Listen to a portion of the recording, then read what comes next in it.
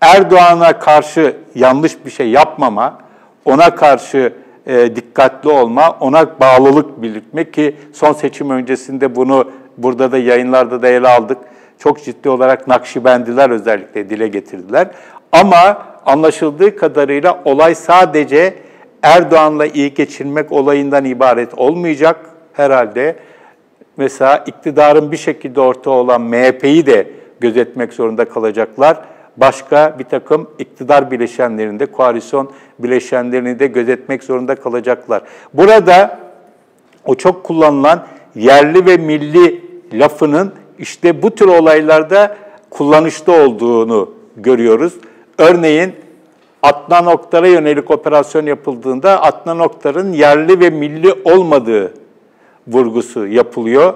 Ya da e, Fethullahçılara aynı şekilde yerli ve millilik üzerinden çok ciddi bir şekilde yükleniliyor. Bunların karşısına yani bunlara irtica diyemedikleri için, gerici diyemedikleri için gayri mil, gayrimilli ve yerli olmayan e, tanımını uygun görüyorlar. Yine burada tabii ilginç olan Alpaslan Kuytul olayında Furkan olayı yine Adnan Hoca ve Fethullah Hoca olayına uymuyor. Onlara uymuyor.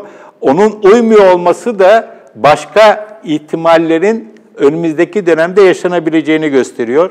Ama açıkçası kimsenin cesaret edip de hele cemaatlerden, Nakşibendi ya da Kadiri cemaatlerden bir takım büyük cemaatlerin herhangi bir şekilde iktidarın şiddetini üzerine çekebilecek bir davranış içerisine e, gireceğini sanmıyorum. Ama yine de şunu görmek mümkün.